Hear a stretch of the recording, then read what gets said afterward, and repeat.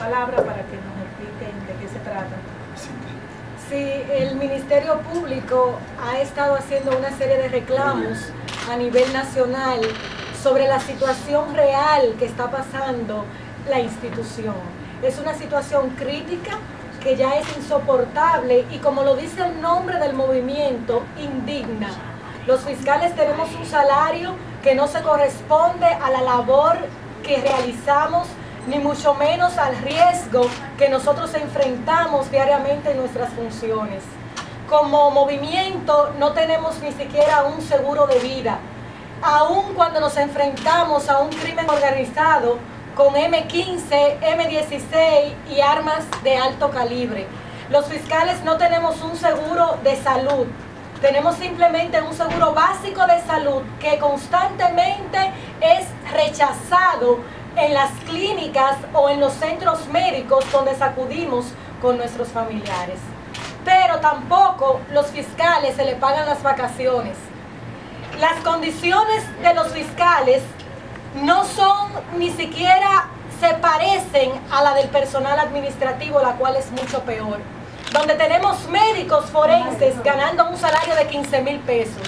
Y ya hemos dicho que ya no aguantamos más. Estamos aquí en el Congreso hoy de la República Dominicana porque entendemos que personas como la diputada y como la Comisión de Justicia de la Cámara de Diputados del Ministerio Público van a acoger el llamado de aumentar el presupuesto a la Procuraduría General de la República para que por lo, para que por lo menos esas necesidades básicas... Eh, ¿Fue, aumentado en el presupuesto? no fue aumentado. Al contrario, cuando ustedes, el Poder Ejecutivo le redujo 14 millones de pesos a la Procuraduría General de la República. Ustedes que han estado eh, protestando y reclamando un aumento de salario para el sector, consideran que es desigual con relación al con relación al de los jueces y de otros sectores y ven que en este presupuesto ha sido lo contrario, como usted misma acaba de exponer. ¿Cuál, que, cuál es la actitud, la, la, respuesta que ustedes tienen ante todo esto? O sea, ¿no se vislumbra un aumento entonces en todo Nuestra esperanza, y por eso estamos aquí, está hoy ante los que el pueblo dominicano ha elegido, que es el Congreso de la República. Nuestras esperanzas están pautadas ahí. Nosotros entendemos que es necesario un aumento de presupuesto porque honestamente no soportamos un año más en esta situación. ¿Alrededor de cuántos fiscales? ¿De cuántos fiscales eh, eh, hay en el, en el país? Habemos 1.023 fiscales en total y 709 fiscales de carrera. El, el procurador, eh, por su cuenta de Twitter temprano, acaba de anunciar un aumento de un 25% para el próximo año. ¿Eso a ustedes los deja tranquilos o van a seguir el pie de lucha? Eso nosotros lo hemos venido escuchando desde hace mucho tiempo y no sabemos cómo el procurador va a aumentar si no hubo aumento en el presupuesto, o sea, al contrario, hubo una reducción y hay un déficit en la Procuraduría que puede ser constatado a través de la Contraloría y la Cámara de Cuentas. O sea, que no creen mucho que pueda materializarse. Si no hay aumento de presupuesto, no va a haber aumento de salario. 14 millones fue usted dijo la reducción del presupuesto. 14 millones. ¿Cuánto ustedes ganan y cuánto ustedes aspiran a ganar?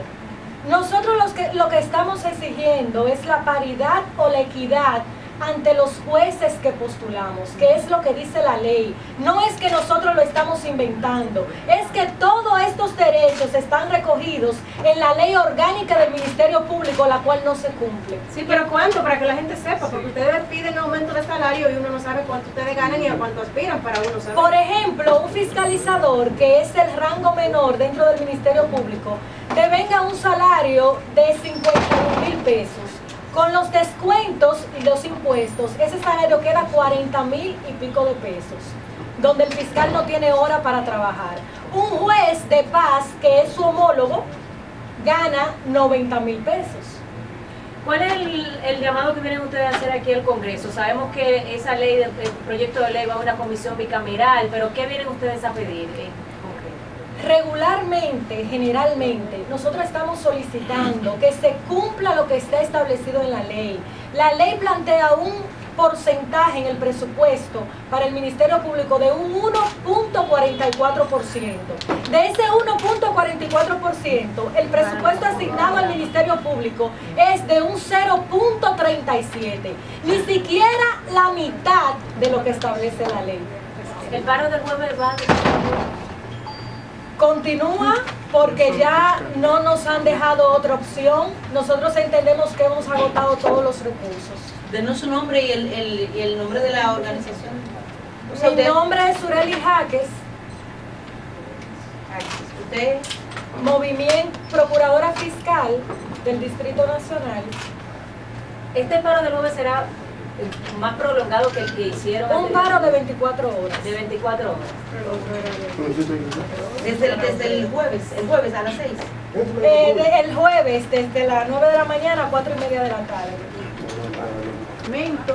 La Comisión Permanente del Ministerio Público analizará este documento, lo estudiará y como este, usted bien eh, está sabido, pues ya se conformará, o se hizo un llamado a conformar una comisión bicameral.